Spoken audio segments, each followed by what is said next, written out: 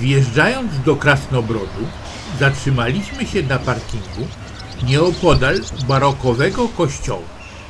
W informacji turystycznej znajdującej się przy parkingu uzyskaliśmy listę pensjonatów, w których można się zatrzymać.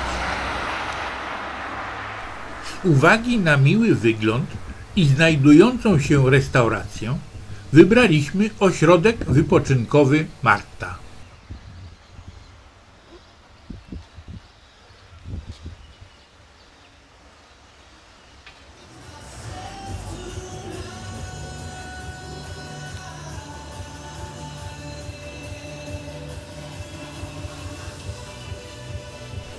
Załatwiwszy formalne sprawy, zamówiliśmy na obiad pierogi.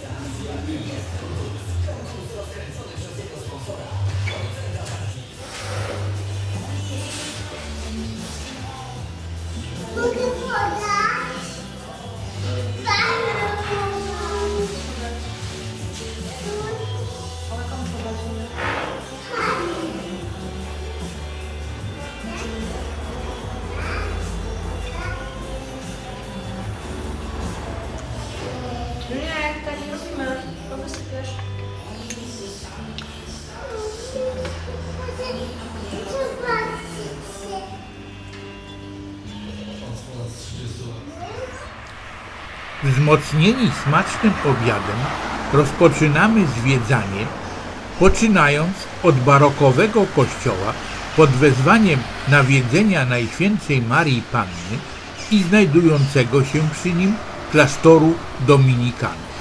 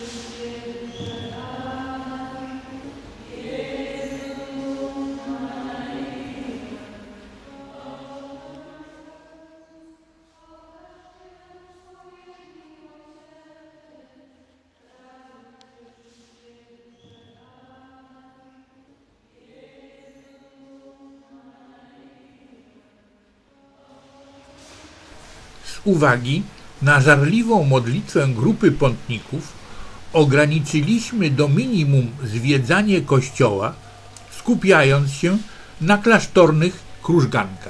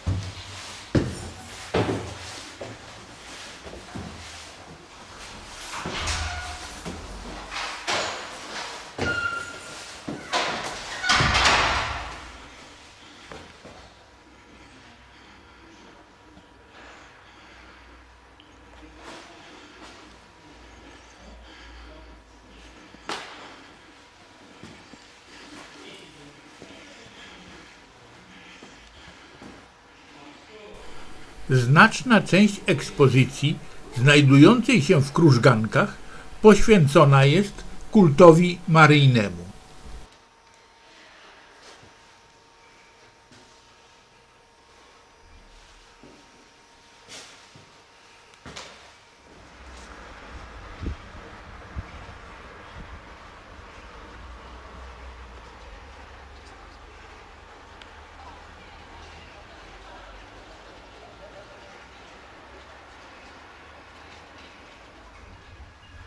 Na przyklasztornym dziedzińcu znajdują się dwa niewielkie muzea poświęcone wsi krasnobrodzkiej oraz wieńcom dożynkowym. Właśnie to ostatnie muzeum jest szczególnie interesujące, mimo iż bardzo liczne eksponaty stłoczone są w niewielkim pomieszczeniu.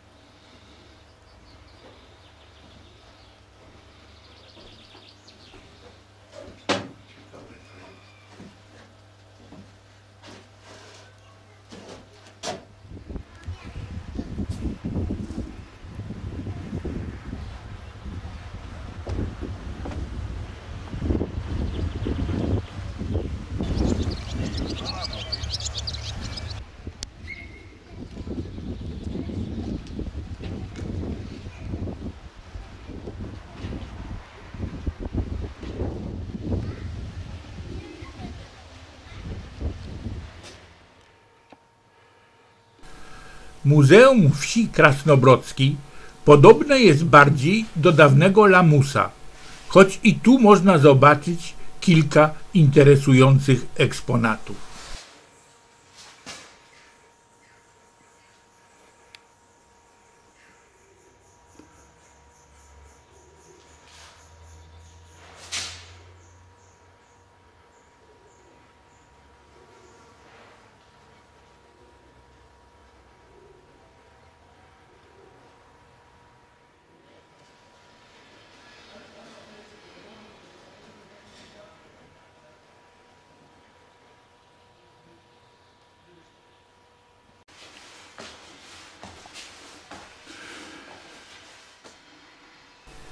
Ciekawa jest natomiast ekspozycja przyrodnicza znajdująca się na pięterku.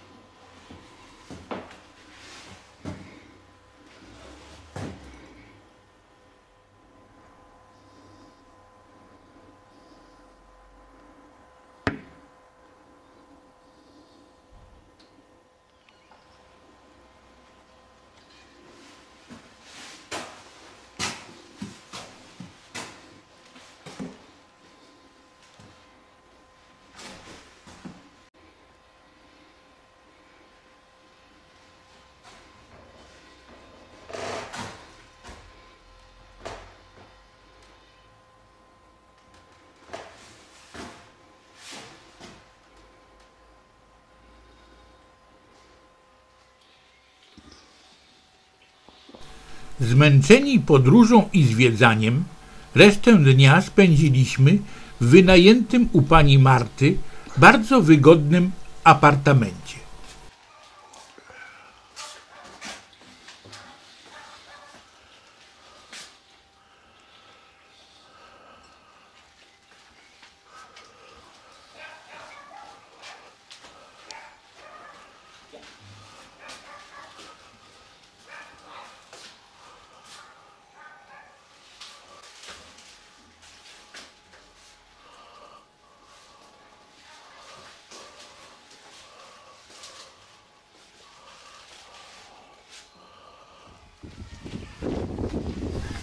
Następnego dnia, po dobrze przespanej nocy, zwiedzanie rozpoczynamy od kaplicy na wodzie.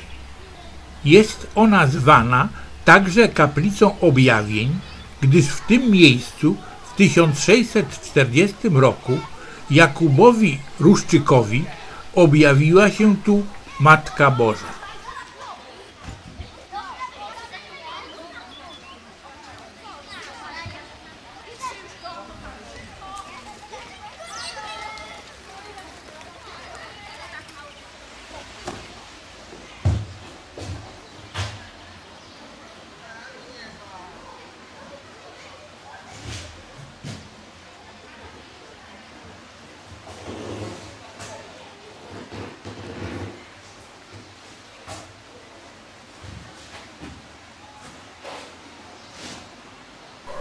Kaplica na wodzie to w rzeczywistości dwie kaplice na wspólnym pomoście znajdującym się nad wodą, która według opinii miejscowych posiada własności lecznicze.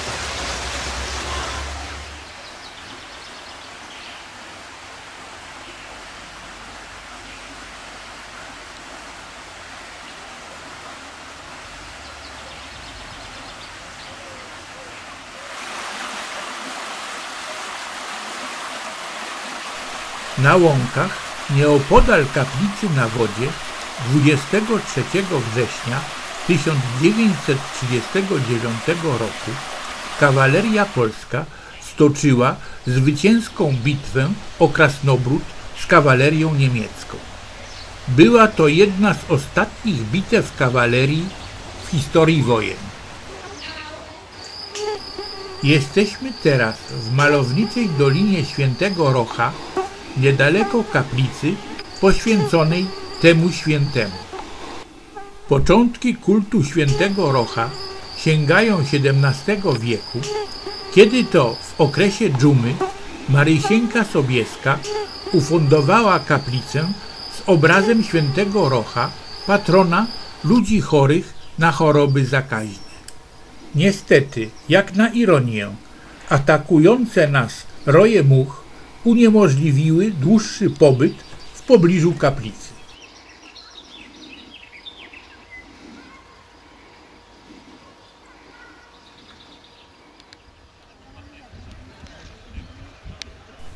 Krasnobród jako miejscowość turystyczno-wypoczynkowa znany jest też z urokliwego zalewu na rzece Wieprz. Otaczające zalew piaszczyste plaże są zawsze w sezonie letnim pełne wczasowiczów.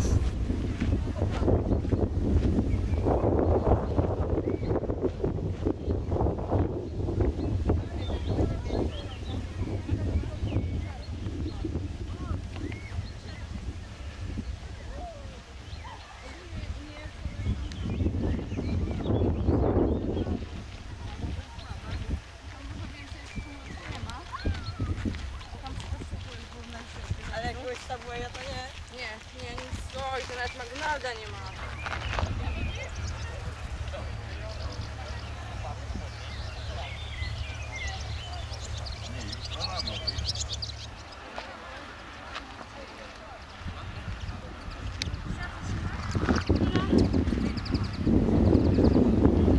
Piękno Krasnobrodu i otaczających go okolic można doskonale podziwiać ze specjalnie w tym celu wybudowanej wieży widokowej wzniesionej na szczycie kamieniołomu. Dojście do wieży wymaga jednak pokonania około 150 stopni, co potwierdza wyraźnie słyszalna zadyszka.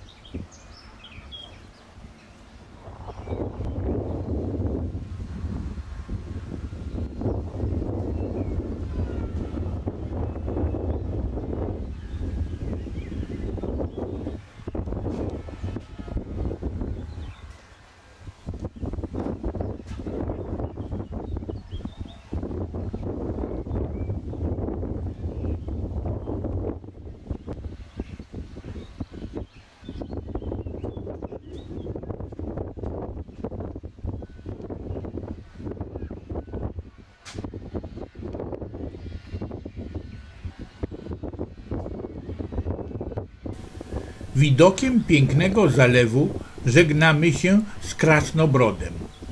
Jedziemy teraz do Zamościa.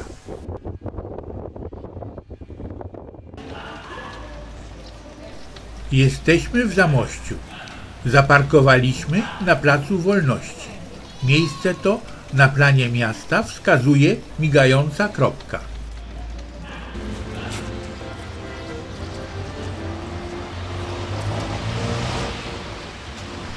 To właśnie Plac Wolności i nasuwający się kościół zwiastowania Najświętszej Marii Panny.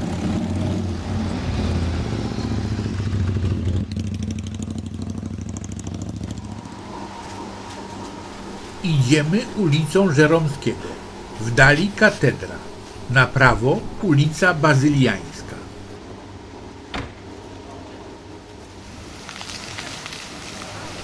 Doszliśmy do rynku wodnego. Różowy kościół i gmach to klasztor Klarysek przy ulicy Moranda.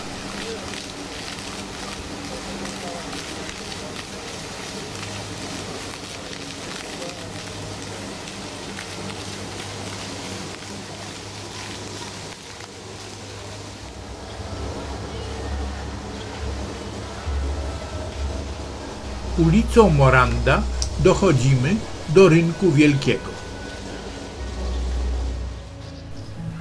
Bernardo Morando to architekt, któremu hetman koronny Jan Zamojski zlecił zaprojektowanie miasta, które szczęśliwie przetrwało w stanie praktycznie niezmienionym. Możemy zatem dziś podziwiać rynek wielki o wymiarach 100 na 100 metrów ze wspaniałym ratuszem stylu manierystyczno-barokowym oraz przechadzać się pod cieniami tak zwanych kamieniczek ormiańskich zwieńczonych ciekawymi attykami.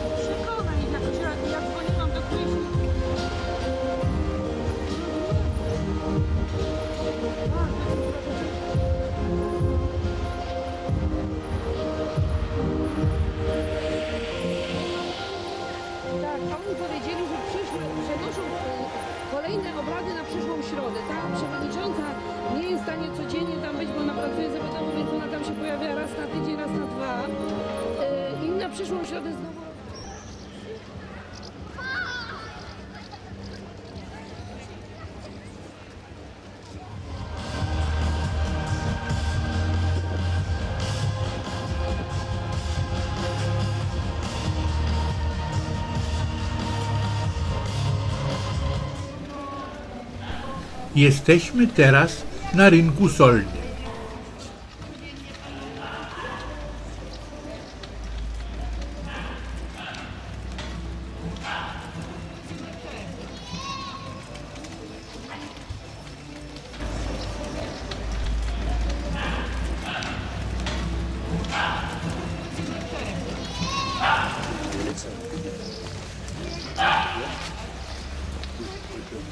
ogromny biały gmach to Akademia Zamojska. Z rynku solnego jest wejście do urzędu miasta znajdującego się na zapleczu ratusza.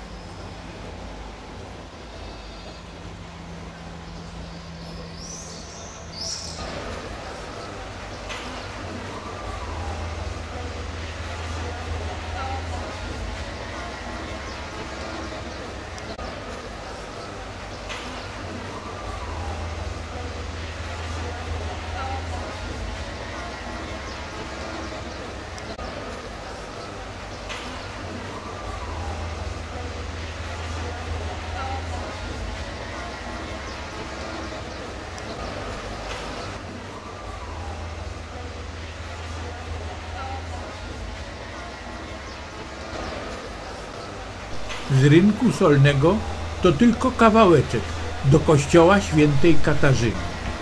Barokowy kościół pochodzi z drugiej połowy XVII wieku. Ciekawostką jest, że w jego podziemiach przechowywano w czasie okupacji obraz Jana Matejki, hołd pruski.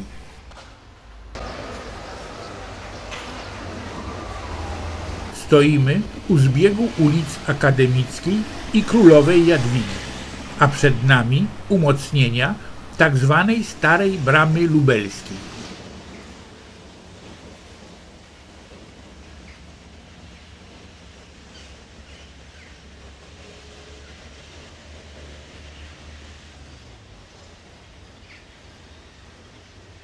Budowla w dole to tak zwany kojec.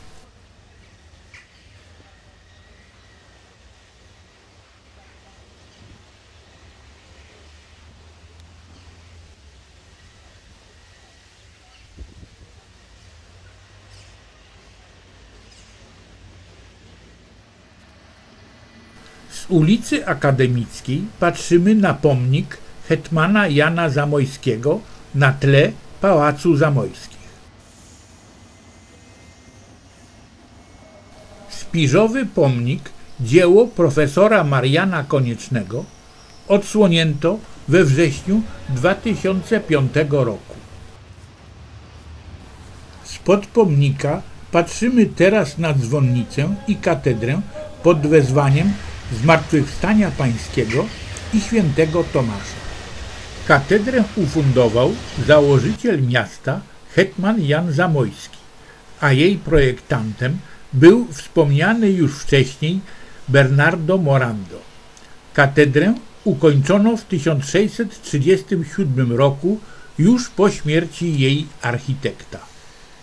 Obecny ołtarz główny pochodzi z drugiej połowy XVIII wieku i przedstawia świętego Tomasza Apostoła, klękającego przy zmartwychwstałym Chrystusie.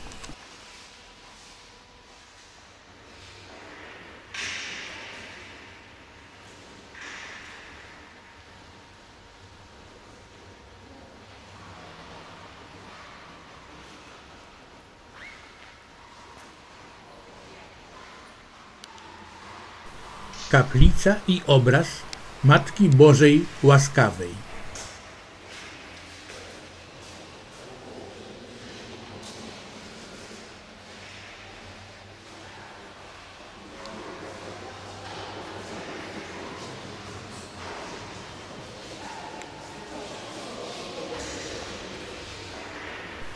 Ponownie ołtarz główny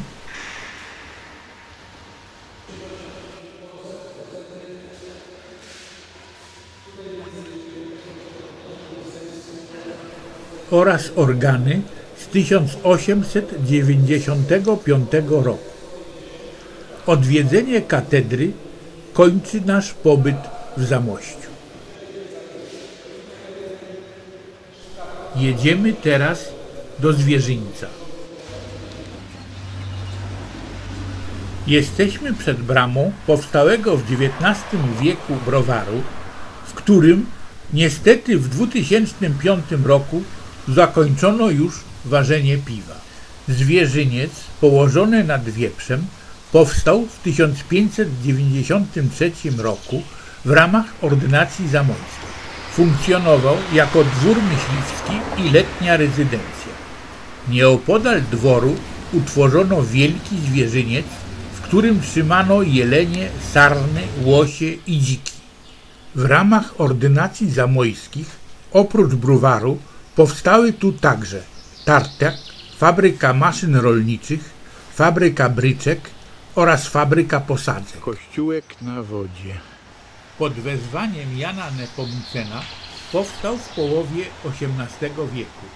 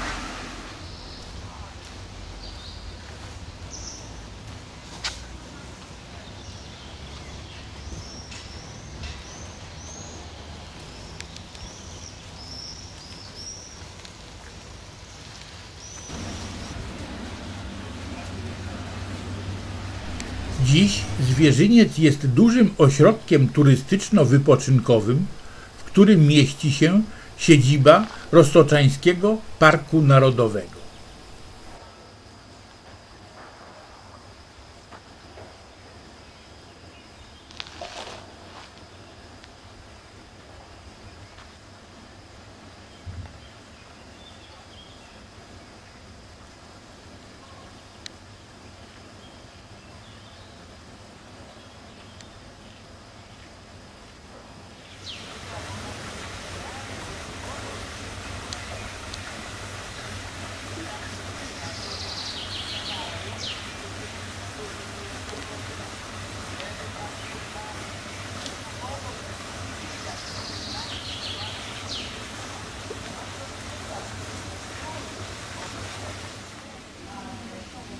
Krótkim pobytem w Zwierzyńcu kończymy naszą tygodniową wyprawę w Bieszczady i na Roztocze.